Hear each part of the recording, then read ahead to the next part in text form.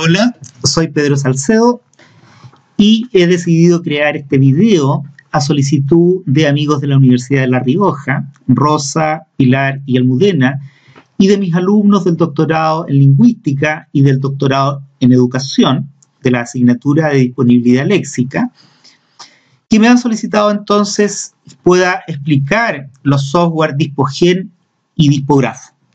Estas herramientas sirven para el análisis de la disponibilidad léxica y fueron creadas por Max Echeverría en la Universidad de Concepción aproximadamente en el año 2005. No me referiré a conceptos relacionados con la disponibilidad léxica, sino me centraré en las herramientas antes mencionadas y eh, explicar cómo estas dos herramientas permiten el trabajo con los lexicones y cómo se relacionan con otras herramientas. Es así como existen herramientas para el análisis de la disponibilidad léxica, distintas herramientas, tanto para un análisis cuantitativo como un análisis cualitativo. Existen herramientas para, por ejemplo, analizar los grafos, las redes semánticas que se forman a partir del léxico disponible de los informantes. Es así como existe una variedad de herramientas, en algunos casos es necesario tener más conocimiento de ellas y hay otras que son automatizadas. Es así como se presenta Excel, ¿cierto? O SPSS, que son dos grandes herramientas eh, con las cuales se puede hacer un análisis, pero se requiere conocimiento de funciones matemáticas, hay que crear fórmulas para poder realizar este análisis, utilizar eh, filtros, hay que ordenar, etc. Sin embargo, existen otras herramientas que te permiten hacer el trabajo de eh, léxico estadístico de forma más automatizada, es decir, es posible generar automáticamente eh, el índice de disponibilidad léxica de cada palabra, los índices de promedio de palabras, índice de cohesión, etcétera, y así también los grafos. Importante decir que con estas dos primeras herramientas, Excel y SPSS, se pueden realizar ya análisis eh, más eh, profundo, eh, como por ejemplo obtener eh, correlaciones entre dos variables, contrastar hipótesis, etc. Existe también la herramienta Legmat, la cual fue creada por el grupo que dirigí en dos proyectos Fondesit, ¿cierto? Y que es una herramienta online que a diferencia de otras es posible subir el lexicón, ¿cierto? A través de un archivo, un archivo, por ejemplo, en este caso CSV, y automáticamente esta herramienta genera el índice de disponibilidad léxica de cada palabra, los léxicos estadísticos, y también es posible generar grafos y de los grafos obtener métricas. No me referiré a esa herramienta ni tampoco a esta otra, Gepi, que también es una herramienta para el análisis de los grafos y que es posible utilizarla eh, para, para, el estudio de los grafos, ¿cierto? Pero sí crearé un video en el cual me referiré específicamente a esta herramienta más adelante. Existen otras herramientas online como LexiDisp, Dispolex, Dispogal y Ledical, ¿cierto? Que han sido creadas también con el mismo propósito y eh, están disponibles, ¿cierto? Para acceder a ella a través de Internet. En el caso de Dispogen y Dispografo, ¿cierto? Eh, son dos herramientas distintas. Aquí se ve una imagen al lado izquierdo de cómo una vez que trabajo con Dispogen es posible generar automáticamente el índice de disponibilidad léxica, ya la estudiaremos con más profundidad, y al lado derecho cómo Dispografo eh, genera grafos automáticamente. Es importante, antes de partir, reconocer a Max Sergio Echeverría, muere en el año 2010. Él fue profesor de castellano por la Universidad de Concepción de Chile y doctor en lingüística por la Universidad de Washington, Estados Unidos, en el año 75. Fue uno de los fundadores de la revista RLA, que inicialmente se dedicó a la lingüística aplicada y hoy es una de las publicaciones señeras en el ámbito de la lingüística, tanto aplicada como teórica. En este momento tiene una jerarquía voz, ¿cierto? Y es reconocida internacionalmente. El doctor Max Echeverría fue uno de los precursores de los estudios de psicolingüística y de las aplicaciones de las tecnologías computacionales a la solución de problemas lingüísticos. Su vocación por la precisión conceptual y metodológica lo llevó a convertirse en uno, en un verdadero ingeniero del lenguaje, como eh, lo reconocen muchos colegas, muchos académicos a nivel internacional. En este ámbito, sus últimos trabajos estuvieron relacionados con la disponibilidad léxica. Desarrolló estos dos softwares de los cuales vamos a hablar, Dispogen y Dispografo, y los que permiten el estudio cuantitativo y cualitativo del lexicón mental de un grupo de informantes. Hay otro software que desarrolló que es un software multimedial que no está mencionado acá, en que busca aumentar el vocabulario y tiene relación, por supuesto, con la disponibilidad léxico de estudiantes universitarios. ¿Dónde obtener Dispogen y Dispografo? He compartido este, estos dos software a través de Google Drive y también lo he dejado disponible en un curso de Educa gratis, el cual utilizo con mis alumnos y también voy a dejar estos dos enlaces eh, en los comentarios del video cuando lo suba a YouTube. Importante es decir que puedo compartir estos software porque eh, Max Echeverría los dejó disponibles, ¿cierto? Con licencia abierta para poder ser utilizados, ¿cierto? Por la comunidad científica. La instalación de Dispogen y Dispografo Dispogen no requiere instalación, ¿cierto? Una vez que yo descargo el software, ¿cierto? Yo lo dejé comprimido, una vez que yo descomprimo los archivos, voy a encontrar Dispogen, ¿cierto? Para eh, utilizarlo y va a bastar con poder eh, ejecutar el programa que está asociado, ¿cierto?, con este software.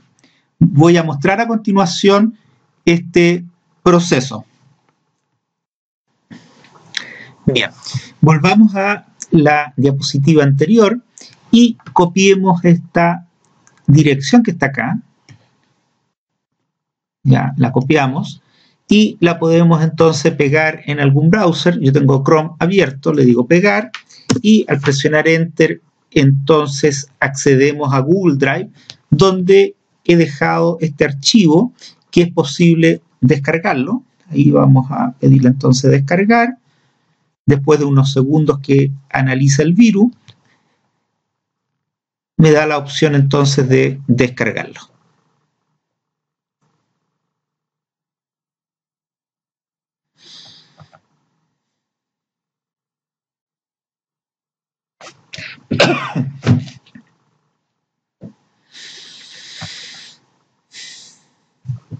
Ahí está. Entonces me da la opción de descargarlo. Yo lo voy a descargar en mi carpeta de descargas. Guardar. ¿Ya? Ahí lo está descargando. 11 megas, 12 megas.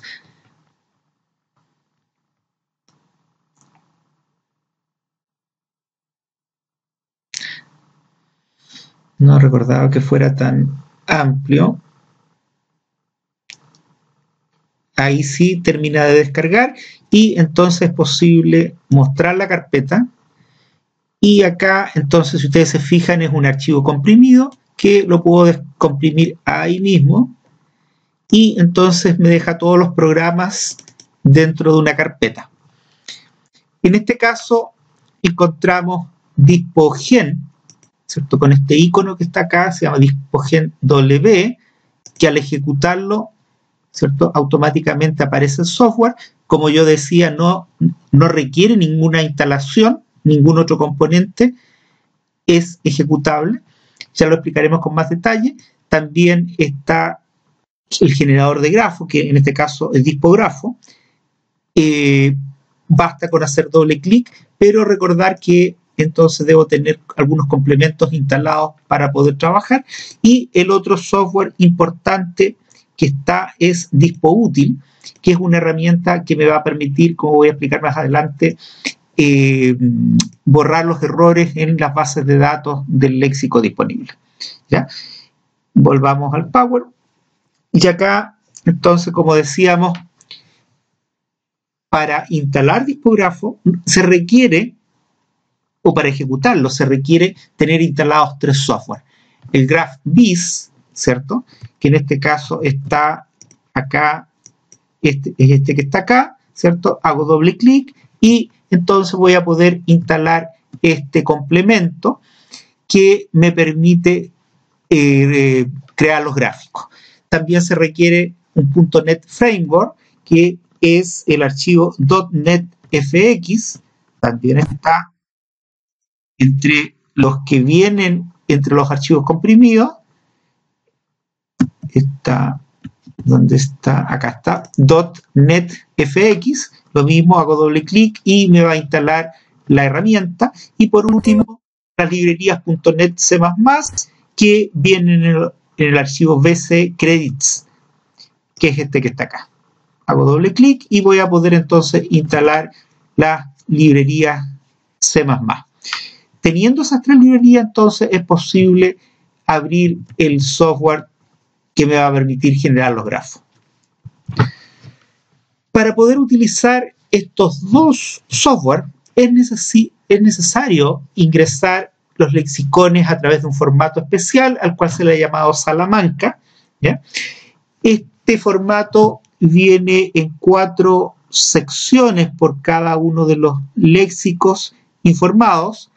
En este caso, en este ejemplo que yo estoy presentando, la primera sección corresponde a cinco dígitos, ¿cierto? Que representan cinco variables. A continuación viene eh, tres que corresponden a los sujetos, a, los informantes, y por lo tanto yo podría ingresar hasta 999 informantes. Y el último, los, dos últimos dos dígitos, corresponden a los campos semánticos. En este caso, en este ejemplo, este pequeño ejemplo, tenemos cinco variables, un solo informante, 1, 1, 1, 1, y tenemos cuatro campos semánticos, en este caso es eh, partes del cuerpo, escuela, eh, casa y medios de transporte. Acá hay un ejemplo un poco más completo para poder ver la diferencia. Eh, tenemos ciertos cinco variables, en los tres dígitos que siguen es el sujeto, en este caso tenemos un sujeto, dos sujetos, tres sujetos, ¿cierto? que nos han dado el léxico en dos campos semánticos, y a continuación los dos dígitos corresponden al campo semántico, es decir, el cuerpo humano está representado por el 1 y la escuela está representado por el 2. En el informante 2, ¿cierto? Está eh, el caso del cuerpo humano, las palabras pie, oreja, ojo, piel, boca, mano, etc. Y en el caso de escuela del mismo informante 2 está alumno, profesor, director, etc. El ingresar esta información en este formato requiere ¿cierto? mucho cuidado. Eh, hay que tener cuidado, por ejemplo, después de de ingresar el campo semántico, que quede un espacio antes de comenzar las palabras y que asegurarse que no me ha faltado ninguna coma, ¿ya? Y solamente debiera existir un enter después de cada uno de los léxicos del campo semántico, es decir, esta línea en blanco que yo he dejado, lo he hecho a propósito para explicar, no debiera ir. Ahora, la herramienta que yo mencioné, Dispo Útil, colabora en corregir la mayoría de los errores que se podrían presentar al digitar esta información. Acá entonces tenemos un ejemplo de los primeros cinco índices que se utilizan en este ejemplo o con el formato Salamanca, ¿cierto? Es decir, tengo cinco variables, en este caso la variable sexo, curso, grupo, conocimiento de otras lenguas y estancia en un país hispanohablante. Y en el caso de sexo, la variable puede tomar dos valores, uno o dos, dependiendo si es mujer o hombre. En el caso del curso puede ser uno, dos o tres. El grupo puede ser uno, dos, tres o cuatro. El conocimiento de otras lenguas, un uno si conoce más de una lengua, si conoce una lengua, un 2 si conoce dos lenguas o tres o más eh, asume el valor 3. Ahora, si el sujeto ha estado en una estancia en un país hispanohablante, un 1 si no y un 2 si sí. Por lo tanto, para un informante que sea mujer, ¿cierto? Del primer curso, es decir, 1, 1, que conozca solo una lengua más aparte del español y que no haya estado nunca en un país hispanohablante, la codificación sería 1, 1, 2, 1, 1.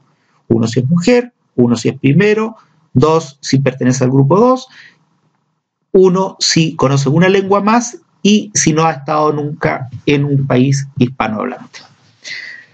A continuación, entonces, pasamos a explicar ya con más detalle el software DispoGen. Bueno, entre los archivos, como explicaba anteriormente, que bajamos, viene el software, el programa DispoGen W, que al hacer doble clic sobre este icono automáticamente abre el programa. Para comenzar a trabajar, ¿cierto? Como explicábamos anteriormente, debemos tener ya un archivo con la base de datos de los léxicos de mm, los distintos informantes en los distintos campos semánticos. Y el software me pide, ¿cierto? En esta primera pantalla que yo abra un proyecto anterior o cree uno nuevo. Vamos a crear uno nuevo, ejemplo, ¿cierto? Le vamos a llamar ejercicio 1. Le voy a decir guardar y me pide que seleccione el lugar donde yo voy a guardar el proyecto y, eh, y los ejemplos que vaya creando. Le digo siguiente y en el paso 2 ya me está pidiendo que pueda abrir el archivo con los datos Salamanca a ser procesado. Le digo agregar. Entre los archivos que hemos descargado vienen bases de ejemplo ya para que ustedes puedan trabajar. Esta base de ejemplos número 1, base de ejemplo, dejé tres bases de ejemplo distintas, le digo abrir, ¿ya? le digo siguiente y empieza entonces primero la preparación y después a cargar los datos de esta base.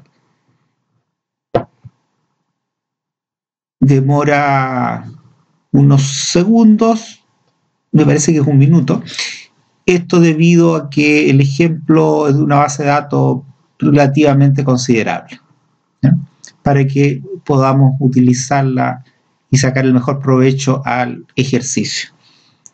Ahí ya está listo y ahora comienza el cálculo de los índices principales. Hablemos de los índices generales, índices específicos, tanto el índice de cohesión, el promedio de palabras, y el índice de disponibilidad léxica de cada una de las palabras. Hay que tomar en cuenta que esto lo está haciendo por cada una de las palabras que están dichas por los distintos informantes. Ahí terminó de cargar. no tiene errores. Se demoró un minuto y tres segundos. Le digo OK y me pide que, me pregunta si quiero editar el nombre de las variables. Sí, lo vamos a hacer, ¿ya? Y en este caso yo podría eh, cambiar el nombre de las cinco variables, ¿cierto? Que eh, estamos utilizando, ¿cierto? Acá están, ¿cierto? Las cinco variables y le puedo dar un nombre determinado, ¿cierto? Eh, por ahora solamente vamos a cambiar la variable 1 y le vamos a llamar sexo, género. Le digo OK y le digo guardar. El proyecto ha sido guardado con éxito, ¿ok? Y nos vamos a seleccionar variables. Si ustedes se, dan cuenta ahí, cambió, ¿ya? El nombre de la variable ahora se llama sexo, ahí están las cinco variables que eh, vienen en esa base de datos. Voy a mostrar la base de datos. Este es el archivo que acabamos de cargar. Y estamos hablando de estos primeros cinco dígitos, que son los cinco, eh, las cinco variables. Recordar que después a continuación viene el sujeto, viene el campo semántico y de ahí vienen las palabras. Si se fijan, no existe a continuación un enter de ahí para adelante. También aprovechar de contar que acá está el programa Dispo Útil, ¿cierto? Donde nosotros podemos abrir el archivo que queramos. Por ejemplo, podríamos abrir el, archivo con el que acabamos de cargar, ¿cierto? Base ejemplo. Y si tuviera algún error me lo detectaría, ¿cierto? No se encontraron errores y me los corregiría. Después yo puedo guardar el archivo corregido. Volvamos entonces al ejercicio en el que estábamos. Yo les decía que con Dispogen, entonces, puedo eh, seleccionar las variables que yo voy a analizar. En este caso, la variable género en la primera columna y las cinco variables a continuación. Puedo analizar dos grupos. En este caso, podría hacer un análisis tomando ciertas variables. En este caso, voy a analizar como grupo 1 la variable género femenino y la variable, el grupo 2 voy a dejar el masculino. Es decir, vamos a hacer una comparación entre los dos grupos en todos los análisis que vayamos realizando. Si nos vamos a... Eh, bueno, acá tendría que haber seleccionado. Ahí está.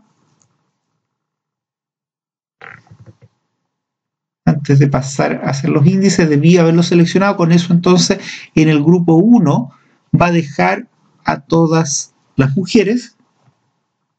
Yo cuando, haga comparaciones entre grupos, voy a poder hacerlo de esta forma. Y entonces en el grupo 2 le digo seleccionar también y me va a seleccionar a todos los hombres.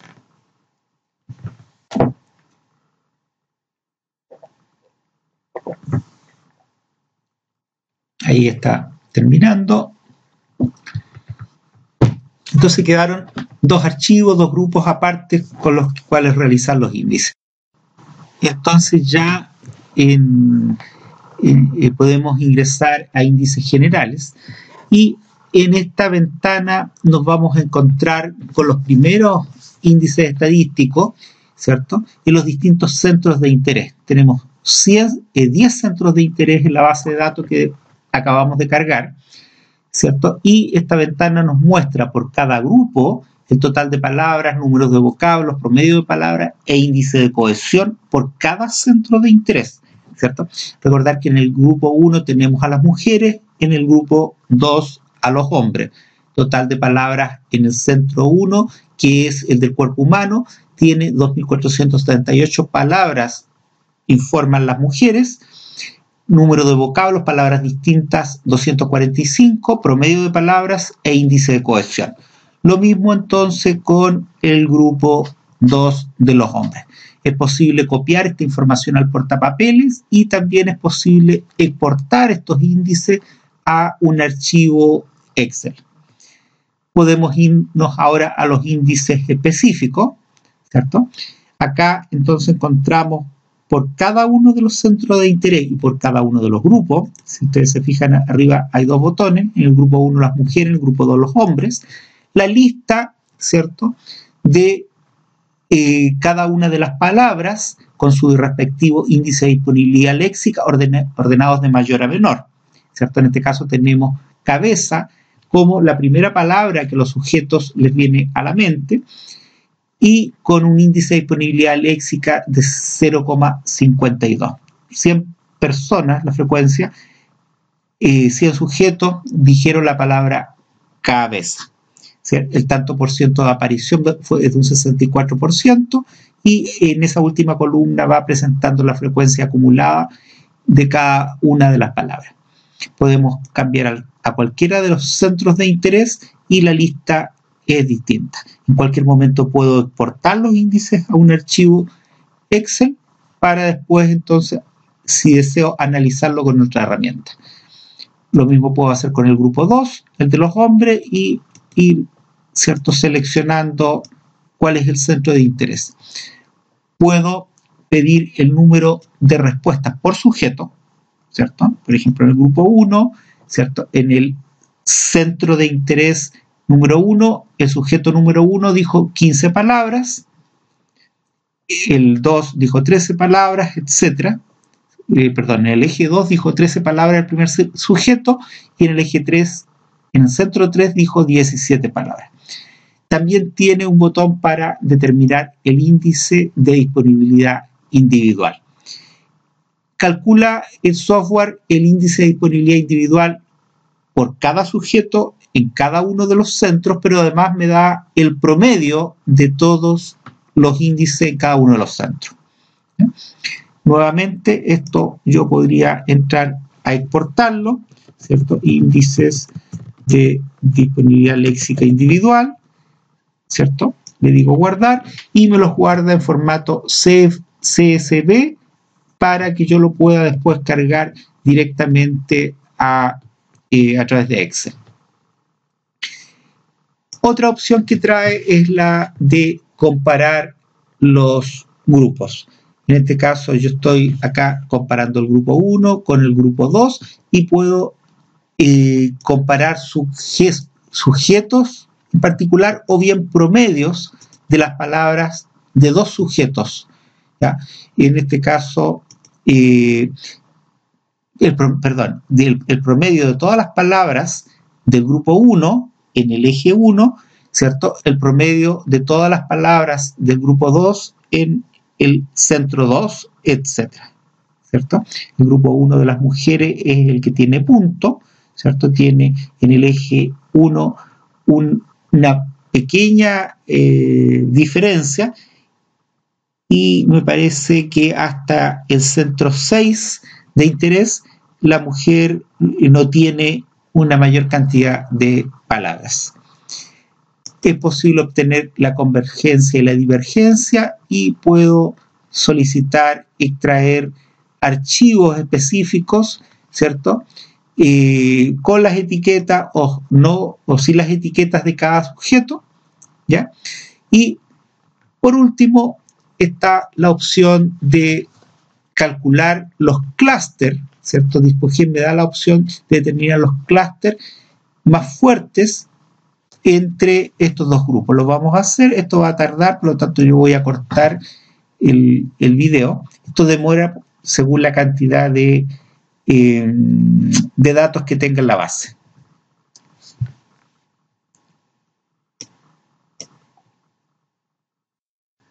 Bueno, como ustedes se pueden dar cuenta, eh, el proceso demoró 6 horas 43 minutos. Eh, lo dejé trabajando toda la noche y en estos momentos entonces podemos continuar y nos encontramos con esta pantalla donde nuevamente podemos trabajar en base a los grupos, grupo de los hombres, grupo de las mujeres. Recordar que eh, la selección del grupo o de las variables que va en cada grupo, yo lo había determinado a través de la opción selección de variables. En este momento estoy con el grupo de las mujeres y puedo entonces solicitar los clústeres más fuertes en el centro de interés 1, 2, 3, acá estamos en el cuerpo humano, ¿cierto? Y tenemos a la derecha de esta opción el tamaño del clúster que quiero visualizar. En este momento estoy con 2. Si le pido 3, entonces el clúster que tiene la mayor fuerza es nariz, ojo, boca, con una cantidad de 29 sujetos que en esa secuencia dijeron estas tres palabras, ¿cierto? Y esto va aumentando, ¿cierto? Y en algún momento ya deja de entregar debido a que no hay sujetos que eh, repitan una secuencia determinada. También tiene la, opción de orden exacto que eh, presenta una pequeña diferencia, ¿ya?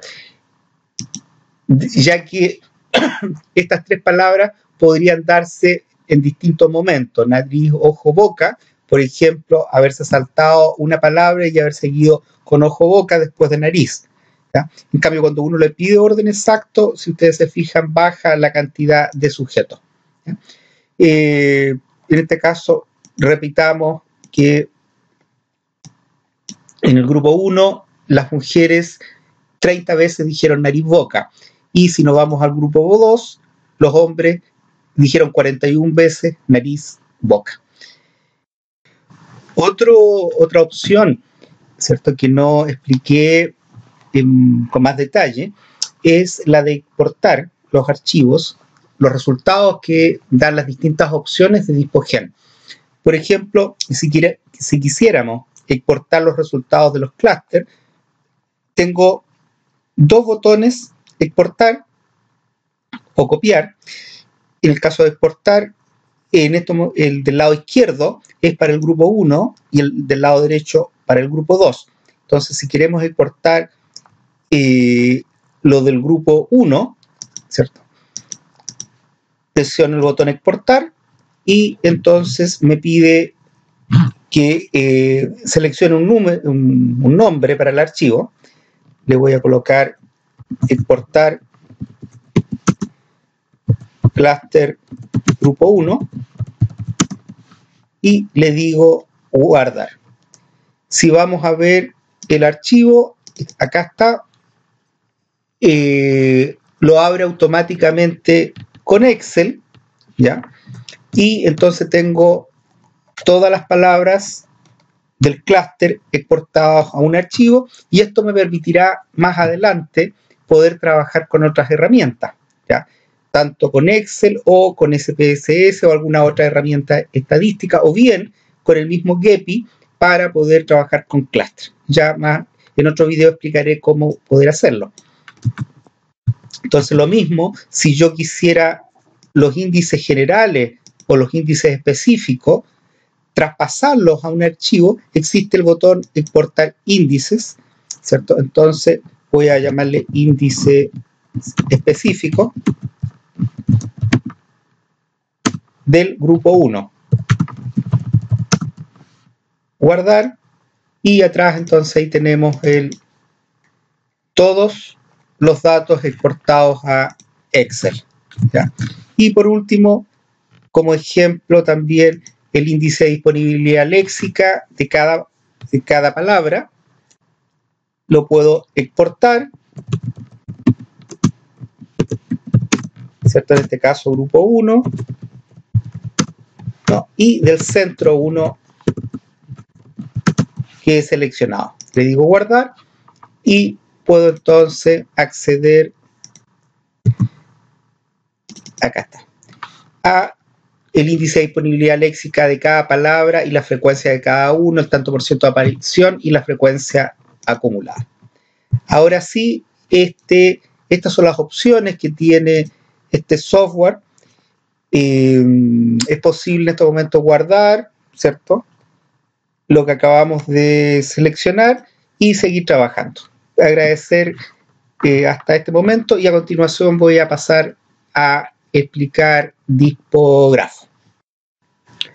Bien, a continuación entonces pasaremos a describir el software dispografo. Es una herramienta, como hemos dicho, que ayuda a estudiar el léxico disponible a través de la técnica matemática de grafos. Yo en este video no voy a profundizar en la teoría que hay detrás de los grafos. Hay una serie de términos que es necesario eh, conocer para poder trabajar con esta herramienta. ¿Ya? Es así como necesito saber lo que es una arista, lo que son nodos, lo que es poda. Eh, durante el video algunos términos los voy a definir, pero le recomiendo al eh, usuario que eh, se refiera, que pueda visitar algún curso relacionado con la temática, como por ejemplo en Educa Gratis podrá encontrar un buen curso acerca de grafos y también está el curso de IGEPI y de disponibilidad léxica que yo les recomiendo. Bueno, pasemos a, ejecutar el grafo como eh, el software tipógrafo, que como habíamos comentado anteriormente, para poder ejecutarlo es necesario instalarlo. Y eh, veamos esa diapositiva para recordar. Aquí está. Para poder llegar a instalar el discografo, yo he compartido el software en estas direcciones, ¿cierto? Uno copia las direcciones y puede descargar el software, pero para poder ejecutarlo, ¿cierto? Se requiere el poder tener instalado estos tres software que están dentro del paquete del archivo comprimido que yo he dejado disponible. Una vez que hemos descomprimido el archivo, nos, encontramos con toda esta serie de programas.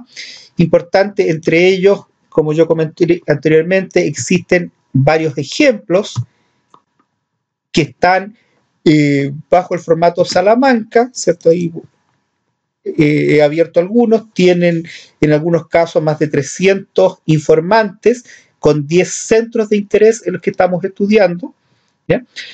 Y eh, dentro entonces también de los programas, los archivos que vienen, está Dipogen, ya que lo eh, explicamos anteriormente, Dipo Útil, que permite limpiar la base de datos de errores, y el software que vamos a estudiar ahora, que es el generador de grafos.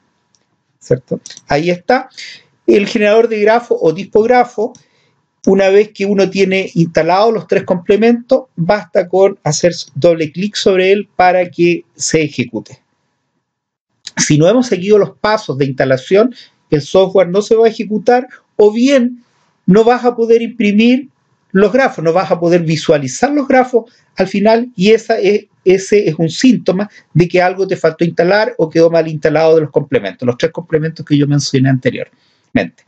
Bueno, al ingresar a esta ventana, a este software, ¿cierto? Uno ve esta ventana y da un poco de susto por la cantidad de opciones que tiene y además porque para poder utilizarlo requiero conocimiento acerca de la técnica de grafo. Al lado izquierdo, ¿cierto? Existen lo que se llaman los filtros. Eh, están cinco filtros activos.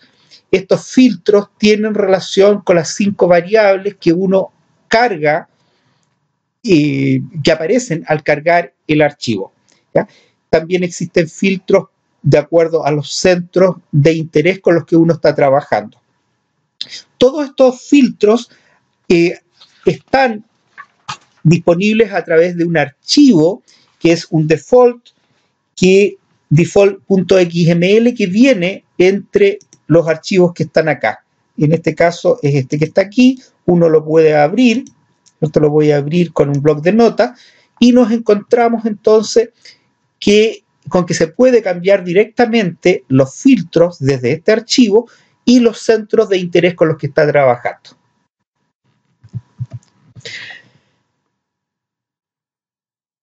Eh, en el centro de la pantalla de dispografo, uno puede seleccionar el filtro con el cual quiere trabajar, ¿cierto?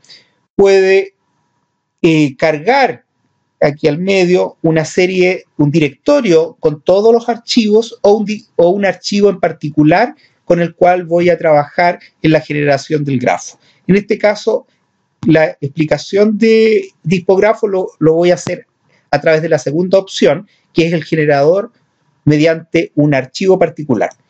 Entonces voy a seleccionar uno de los ejemplos que viene, que yo dejé disponible, ¿ya? y se llama base ejemplo.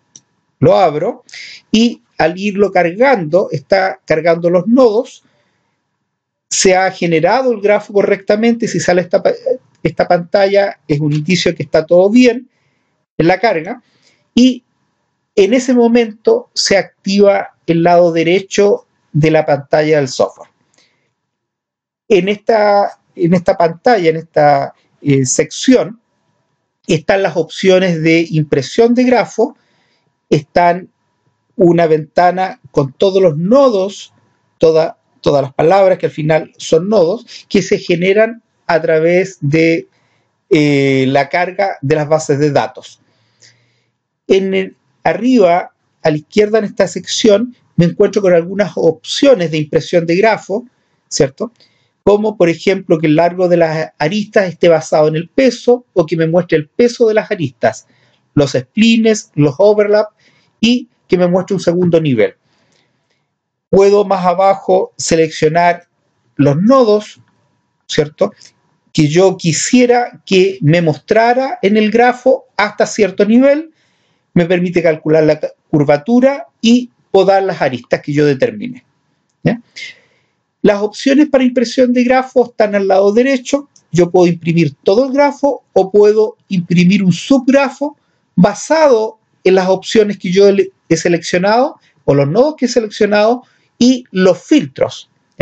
Importante cuando yo cargo el archivo, los filtros me van a permitir cargar solamente las opciones o las variables que yo estoy seleccionando. Por ejemplo, si quiero solamente los hombres, selecciono hombres y al decirle cargar el archivo solamente me va a cargar de la base los que cumplen con este, con este parámetro, con esta variable. Al lado derecho, entonces, de esta ventana también me muestra la cantidad de individuos. En este caso, si ustedes se dan cuenta, son 310 informantes los que yo estoy cargando. Hay 313 nodos. Seguramente hay algunos nodos eh, que están mal escritos y es por eso que genera tres nodos distintos. Y esto lleva a 2.386 aristas. Estas aristas se refiere, y aquí entra una definición, cuando hablamos de nodos, estamos hablando de una palabra en particular, y cuando hablamos de arista, es la unión entre dos palabras, es decir, cuando un informante dice una palabra y después la otra, entre ellas existe una conexión a la que a través de la técnica de grafo le llamamos aristas.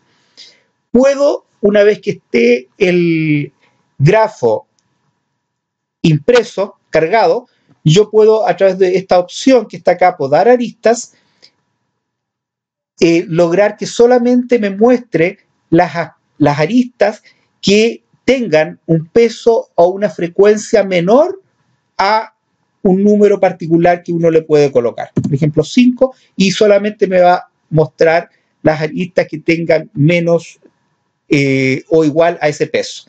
En el caso de los nodos, también tiene la opción de que yo pueda podar los nodos que tengan una cantidad de aristas iguales o menores a un número determinado. Esto permite entonces limpiar el grafo y poder visualizarlo de mejor manera, considerando eh, las aristas o los nodos que son más relevantes dentro de un mapa semántico o una red semántica. Los cliques, ¿cierto? Que es un término también de la técnica de grafos, es la relación que se forma entre todos, o, perdón, es el subgrafo en el cual todos los nodos tienen una relación con el resto de los nodos. Se dice que este subgrafo es relevante en la red semántica por las características que tiene en la asociación de unas palabras con las otras y es por eso entonces que es necesario muchas veces encontrar de qué se trata. Habiendo explicado gran parte de la pantalla, como yo dije, no en detalle, eh, pasemos entonces a hacer un, un ejemplo de cómo se utiliza este software Voy a cerrarlo y voy a volver a cargarlo para que para partir de cero. Ahí he abierto el software, ¿cierto? Lo primero que hago es cargar un archivo. En este caso voy a cargar el archivo base ejemplos. Está cargando, cargó correctamente y los filtros que tengo acá son justamente los que utilizo en este archivo de ejemplo, ¿cierto? Hombres, el tipo de alumnos, si es urbano o rural, si el establecimiento es público o privado, si es de una clase baja, media o alta, y acá están los centros de interés a utilizar. Una vez que he hecho esto, entonces puedo directamente imprimir el archivo. Hago clic acá. Yo tengo una carpeta dentro que se llama paso, donde voy a dejar esta, este grafo de ejemplo, grafo 1, y voy a guardarlo.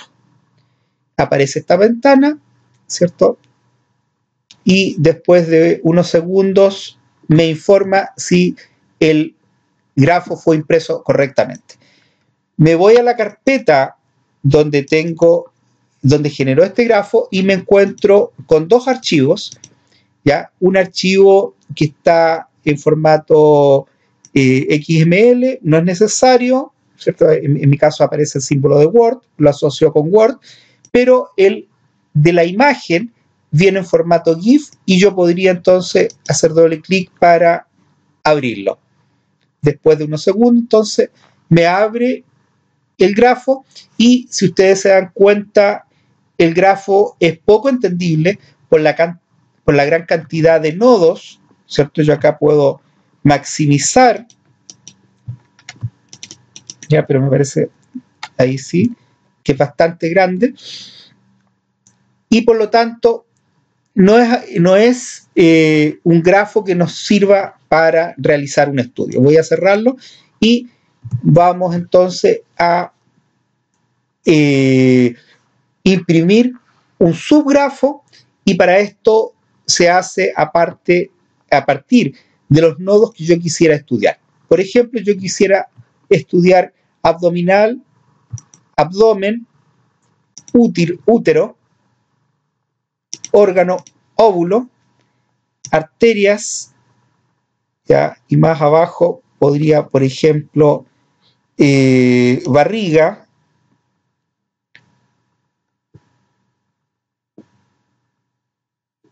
bronquio, célula, por ejemplo. Y entonces le pido a la herramienta que me imprima el subgrafo. Le voy a decir que se va a llamar grafo 2. Le digo guardar.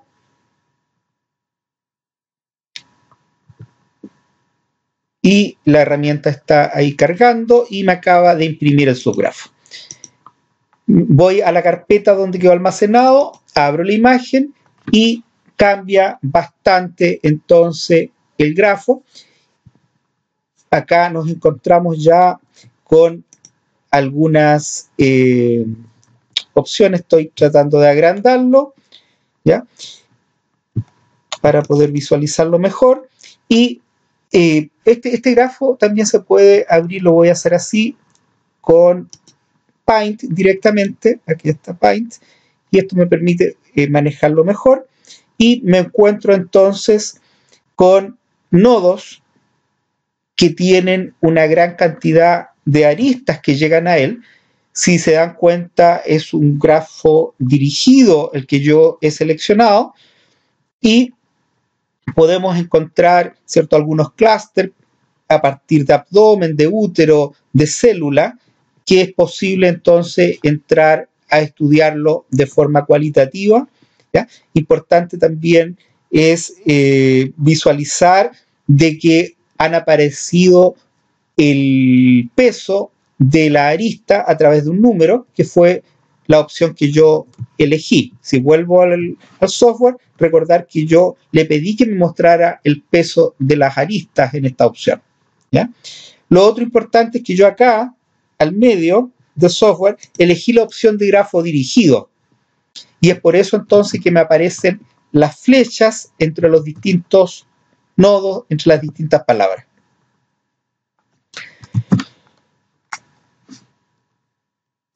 Y tal vez me falte explicar cómo utilizar el tema de los filtros. Ya voy a cerrar el tipógrafo, lo voy a volver a abrir, generador de grafos, y esta vez sí voy entonces a seleccionar que solamente me muestre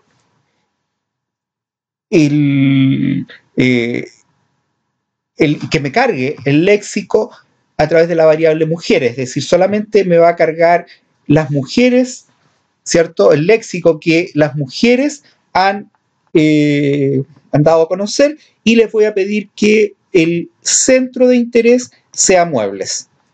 Voy a entonces a generar el grafo mediante el archivo que hemos estado utilizando de ejemplo, ¿cierto? Que es base ejemplo, le digo abrir y después de unos segundos entonces termina de cargar totalmente. Y encontramos acá entonces que las palabras son árbol, útil, útil escolar, aburrida, aburrido, acuarela, adorno, agenda, por supuesto aparecen palabras que uno se pregunta por qué el alumno las dice, ¿cierto? Una explicación tiene aburrido, aburrimiento, etc. ¿ya? Amenaza, arte visual, aseo, asignatura, etc. ¿ya? Eh, pudiendo ser un grafo menor, ¿cierto? Yo podría generar el grafo, sin embargo, al haber 154 individuos que cumplen con, la opción de ser mujer, ¿cierto? Con el filtro que yo he seleccionado, es de todas maneras el grafo va a ser bastante complejo y por lo tanto nos conviene generar un subgrafo para entrar a estudiar un tema en particular, un clúster en particular que nos interese. Por ejemplo, lo voy a seleccionar solamente con la opción de acuarela, voy a pedir un segundo nivel y voy a entonces a generar el subgrafo. En este caso le voy a llamar grafo 3, guardar. De la misma manera entonces después de unos segundos me genera el subgrafo. Si nos vamos a, a ver el grafo, nos encontramos entonces, ¿cierto? Voy a abrirlo con nuevamente con la herramienta Paint que a mí me, me hace, es más fácil manejarla y nos encontramos que eh, la palabra pincel, ¿cierto? Está relacionado con acuarela, que fue la que seleccionamos nosotros en el, en el, software, ¿cierto? Y Acuarela está relacionada con Gloria, y Gloria está relacionada con Francisco, Nancy, Juan Pablo, Alejandra y Roberto. Podría deberse a que la profesora se llama Gloria. Y Acuarela está relacionada con pincel y pincel está relacionado con blog, témpera, lápices de colores, escribir lápiz pasta, témpera y arte. No hay una arista más fuerte que la otra. Esas son las opciones principales que tiene este software. ¿ya?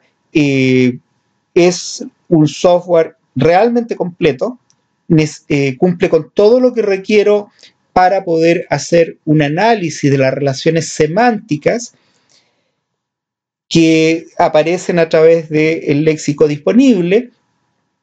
Y eh, como última opción, que me, va a permitir seguir con otro video más adelante que es el de Gepi, les comento que existe también la opción de generar un archivo a partir de las palabras que ha cargado este software.